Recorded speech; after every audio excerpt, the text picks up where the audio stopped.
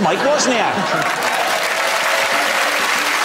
I can't persuade the girls to visit until you've gone.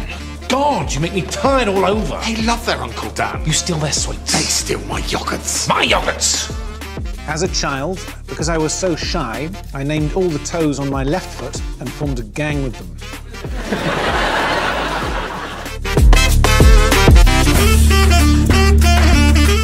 Big toe was, was Daddy Bruiser.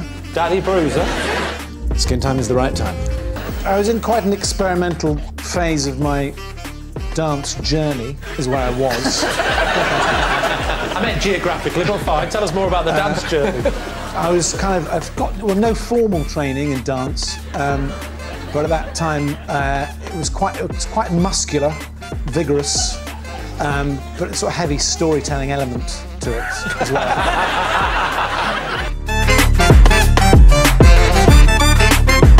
now it's, you know, TikTok, it's five o'clock. Sorry, it might be another saying that might be after going to the book. TikTok, it's far too clock. That's right. Up to this day. It's still loose. Oh, it's an absolute casserole now.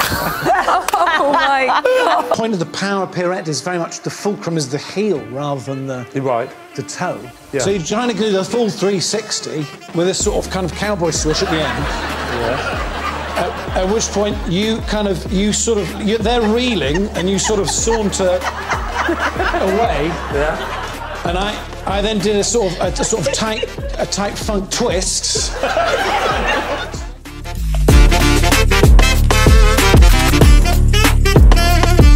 It's easy streets.